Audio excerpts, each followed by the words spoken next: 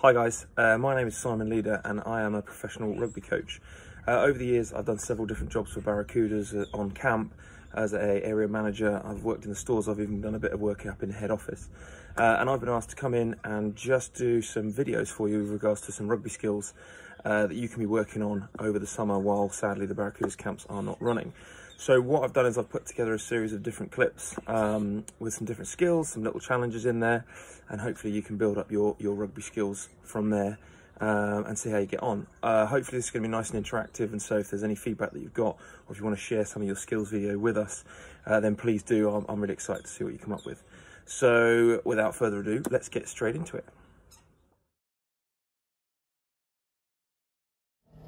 Right guys, here we go then. Session one. So this is all about familiarisation of your rugby ball. So all you need to do is get yourself hold of a ball, ideally the right size for your age group. If not, any ball will do. I've got a football here as well, that'll work just as well. But if you've got a rugby ball, all the better. So all we're doing is just getting used to touching and moving the ball around our body. Whoops, both ways. Okay, as fast as you can go. Let's get it up around our heads, side to side and then around.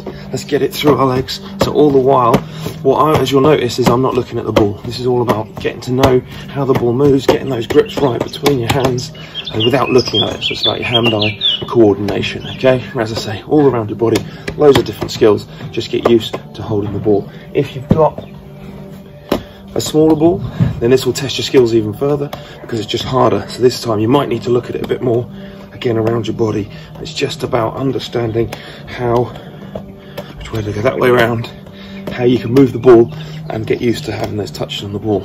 Okay. Next thing, what we will talk about next week is a little bit about passing and we'll develop our passing skills. And for that, we need to focus on the 10 points of contact. So we're not flat handed on the ball, we're getting our points of contact with our fingers. And one really good way of working on that as a start point is just moving and getting that control of the ball. Ideally, can you see the ball is not moving? It shouldn't be moving very much at all. And then when you get really good at that, you're just looking to then start to move the ball and move it from hand to hand to hand to hand to hand to hand. Okay, a few skills to be getting on with. Now we'll have a look at a bit of a challenge for you. Okay, so this is called the figure of eight. So we stand with our feet nice and wide apart. Come a little bit closer. We're going to grip the ball like this, and the idea is that we lift the ball up and we catch it again. So you're looking to transfer the ball around like that. What I want you to do is have a go and see how many you can do in 30 seconds and the highest score wins. See how you go. Good luck. So last time we talked a little bit about our grip on the ball.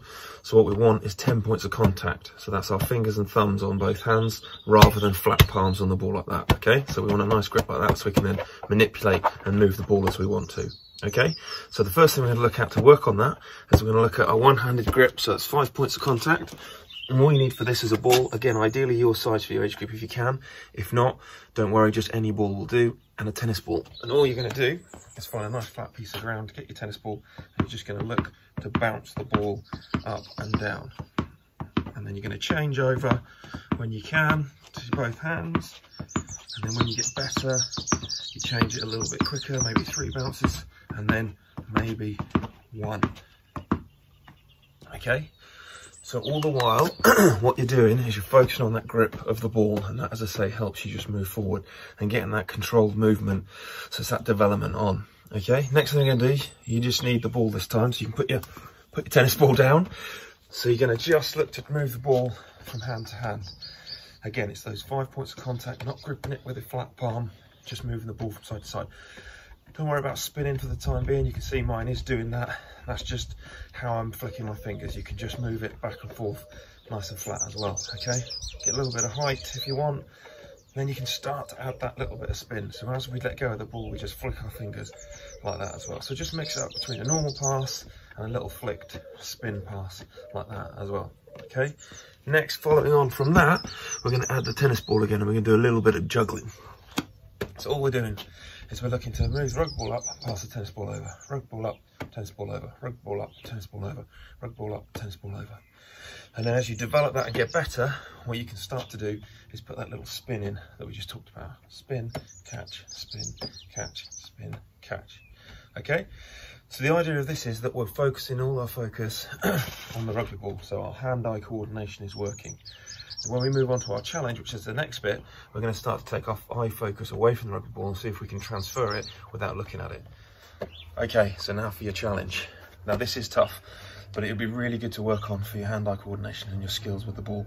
So what we did before when we were doing the juggling is we were moving the rugby ball up in the air and passing the tennis ball across. So all our focus was still on this rugby ball because we know that we can pass the tennis ball back and forth without looking at it. Now we're going to take our attention away from the rugby ball and onto the tennis ball so that the skill between of passing the rugby ball from hand to hand becomes a bit more of an instinctive, natural thing. So we're going to we need a flat wall here. So I'm just going to use the side of the house. You need your tennis ball and your rugby ball. So the tennis ball goes against the wall and you hand over the rugby ball and catch the tennis ball. Okay, again, against the wall, hand over the rugby ball against the wall, hand over, against the wall, hand over. So all the while, you're not looking at the ball. Once you get good at that, the next trick is to throw the ball against the wall and put a bit more air on the rugby ball. It's much, much harder. So against the wall, up and catch. Against the wall, up and catch. Okay, it is tricky. It will look a bit scruffy.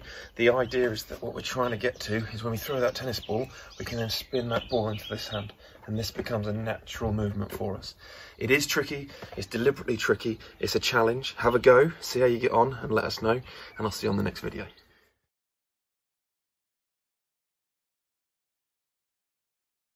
And this video is all about challenges. So what we want to do is we want to get creative and see how good we can be at doing some different skills in and around the house.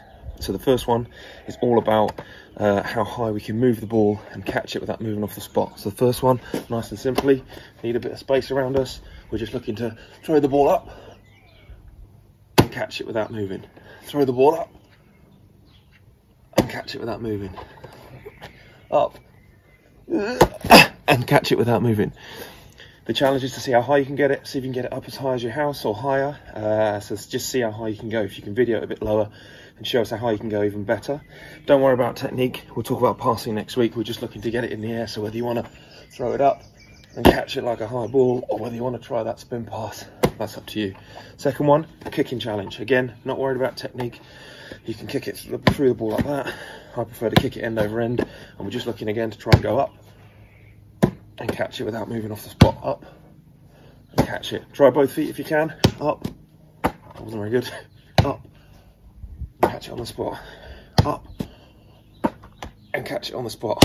Just challenge yourselves, see what you can come up with. And how about these for a few extra challenges indoors?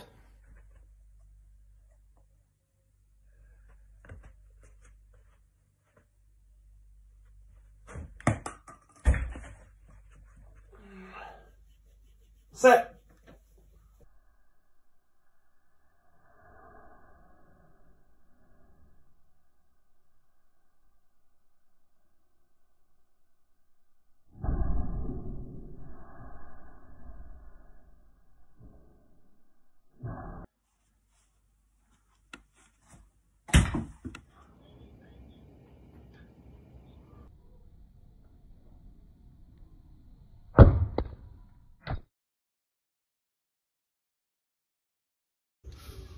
Right, okay, I hope you got on all right with all those challenges. Uh, now we're going to move on from that ball familiarisation into some passing technique. So the first thing we're going to look at today is the push pass. And for this, we're going to need a wall and a round ball. So if you've got a football, great. If you've got a handball, netball, basketball, anything like that will do. Uh, some of you may have some of the half rugby balls, which have got one flat edge and then the other half of a normal rugby ball, which you can use as well. But as I say, any kind of round ball will do for this. So all we're looking at uh, is getting our technique right. Um, so as I say, we're going to need a flat wall and a round ball. The reason being is that we're going to be passing against the wall and we want the ball to come back to us so we're not chasing a rugby ball around all over the place. So all we're looking at is we want a target on our wall which is roughly in line with our chest as we point across, roughly in line with our chest. So I've got a nice block there which I'm looking at and I'm going to aim for. Okay, now we're just going to take a few steps away we're just going to be pushing the ball across our body. So for this, we need to make sure our elbow is nice and high. Um, and all we're doing is we're looking to push, actually hit a nail in the wall there. We're looking to push straight back again, push straight back. So the reason we push our elbow nice and high is to focus on that push rather than a swing. If we start swinging, we've got to make sure our time is absolutely bang on because if we let the ball go too early, it goes down. If we let it go too late, it goes up. So we get a nice high elbow and we push it so the ball should travel along that plane. Okay, don't forget as well that you want to make sure you go off both hands, same principle. Okay, so get, get some reps in, just stood still. Okay, next thing, when you feel like you're comfortable and comfortable doing that, I'm just going to add a little walk into it. So as he's walking through, we're looking at our target elbow high and we push through and carry on. Okay, again. So we come through, looking to target elbow high and we push the ball through. Just get a few reps of that. Again, don't forget to go off the other hand and then we can build it from there. If you've got someone with you and you're working in the garden with someone else, maybe a brother, sister, uh, a parent, whoever it may be, what you can do is you can carry on with this theme of walking in, they can throw you that pass, and then you get your elbow high and you push the ball across. I'm here by myself, so I'm just happy to lift it to myself, carry on walking and push it through, okay? One little trick to make sure you can do, because in a game, this is nice and easy obviously here because I can manipulate my situation, I'm walking in. In a game, we're gonna be moving a lot quicker, so let's step the pace up a little bit. But one thing that we wanna do is practice passing off what we call our closed hip, okay? So it's all well and good when we get here and we can put our outside foot forward, which allows our body to turn and push the ball into that space.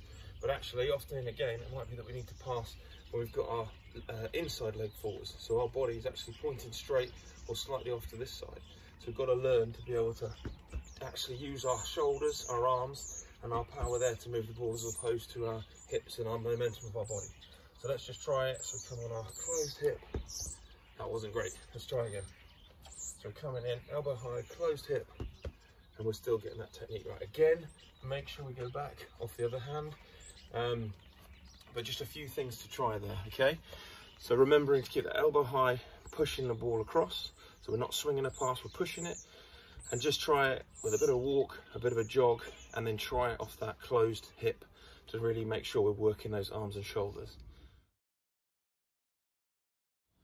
Right, okay, uh, I uh, hope you got on all right with the push pass. Uh, now what we're going to do is have a look at uh, how we develop our spin pass. Okay, so some of you out there may well have been playing rugby for a long while, some of you might be quite new to it. Either way, we're going to start at the basics and build up. Some of you might be quite competent and comfortable spinning the ball, but I'm just going to show you a couple of little techniques and tricks that you can do to help develop that uh, and just make sure that, that we're doing it effectively. So the first thing that people often get wrong is how they try and spin the ball. so if I just step back a little bit here, what we, what we see is if we're passing, uh, as I would be here, from uh, right to left, we see people placing a hand on top and physically trying to spin that ball like that. Okay, actually, what you'll learn is that the ball will spin naturally if you get your back hand positioning in the right place, because it should roll out of your hand. One thing just to demonstrate that, a little quick tip for you, is if you can get hold of some kind of drinks bottle. Now this is a, a Pepsi Max bottle. Other drinks bottles are available. Um, but I think Coke bottles are the same and, and Fanta ones. But I just want to look for a bottle that's got these got these kind of dips in the bottom. Okay, and all you're going to do, I've got quite big hands compared to this, so I think I might just get three in there like that. You might get four, um, however you want to do it. And you just want to grip the bottle at the back like that as the rain starts to come in. and what you're going to do is you're just going to grip the bottle like that and you're going to open up your hand. So you've got the flat open part of your arm, bring it to your hip, and all you're going to do is you're going to straighten your arm out. And what you'll see is that bottle, as you just naturally straighten your arm out and close that part over, the bottle will spin. Can you see that? So we start there, the bottle spins. And that is just a really easy way to demonstrate how that rugby ball will turn naturally in your hand. Okay, so we'll swap that out and we'll pick up our rugby ball. Again, hopefully an appropriate size for you, um, but any rugby ball will be good. Now we're not gripping right at the bottom like we did on the bottle. We're going to just take it to the side. Ball's a little bit wet now, but the same principle applies. So we grip it near the back, ball on the hip, open flat palm, and we just turn. Can you see that? So the ball is just turning through the air. And that is how we get our spin. It's nothing to do with this hand. This is a control hand, as we'll talk about in a minute. So once you've kind of got used to how to go with a bottle, you've got used to spinning that ball like that. You can see that turning. then we're just going to start to actually let the ball go. But just for now, we're going to practice by putting it up in the air. So we're just going to go one hand, and we're just going to spin it into the other. Again, get your hand placement and just spin it. Now you can start to flick your fingers as you let go of it a little bit, and that just gives it that nice little spin. If you want, you can try going a little bit higher. all in all, we're just trying to spin that ball and just show you can see how, if you get that grip right, if you let go of it and just roll those fingers, it'll give you a nice spin. Okay, so what we're going to try next is we're then just going to try and add that control hand. And literally that's all this does. It controls the direction of the ball. It doesn't even necessarily need to help you spin it. Sometimes there's a little bit extra from your thumb on this hand, but it's not actually necessary because all the spin comes from here and all that one does is just rolls off it and controls it. Remember your 10 points of contact. We don't want to be flat palms trying to spin this ball really hard. 10 points of contact. So again, out in front, and just going to use this hand to control it and follow follow the ball. And all it will do then is you'll be able to start adding a bit of height to it. Try the other hand as well. So swap your hands over. Again, good. Like that. And what you'll see is that what I'm doing is as I finish, as I did with the push pass, is that we're pushing through both hands to where we want the ball to go. Okay, we're not just letting our hands drop down, we're holding them in the direction of the pass. Okay? So uh, the rain just came down just as I was finishing that last clip. Um, but hopefully you got the idea, or still getting me now, hopefully you got the idea of what I was trying to say. The idea being that um, you can just use that hand to spin the ball and the other one just controls the direction uh, and helps control the hold of the ball. It's something that you can do. Try it with a small ball, try it with a big ball, um, and just try doing it whenever you can. Even if you're sat on the sofa with a little ball, just try flicking it with your fingers. Tennis balls, footballs, everything works. The same principle. Just understand that, that what that hand does and how it can turn the ball. You don't need to force it. It's actually a natural movement that will help you learn to spin the ball. And then on the next little clip, we'll look at how we develop that into an actual, what looks more like a spin pass in a game of rugby. Uh, we hope, if the rain holds off. Okay, good luck. See you on the next video. Okay, so um, as we did uh, on the video just gone, we looked at one-handed spinning the ball and how, where we grip from that backhand. And what we did with the Coke bottle and then what we did with our rugby ball. Okay, but this time now we're going to do is we're going to be actually passing the ball. Now we're going to start off, again we want our target that we use for like a push pass. So again, level with our chest ideally. I've got my brick here that I know I'm always aiming at. Okay, so I step back and I square up to my target because again, we're just looking at this in terms of our technique of how we move the ball. So we get our backhand, ball starts on our hip and we're just pushing the ball through to the target. Okay, hand, ball on the back of the ball, hip here, open arm, close the arm off, ball through to target. Let's go again. Ball at the back, hip through, close to target. Do it off both hands. So again, ball at the back, hip through, push to target. Ball, hand on the back, ball on your hip, push to target. Okay, so what we should be seeing there is we should be getting some nice rotations in the ball. It will look scruffy, um, but that's okay. We're just getting into the rhythm of doing it. When we when we add the second hand, which we're going to do now, that's when you get the control and that's when it starts to look a bit more of a free flow movement.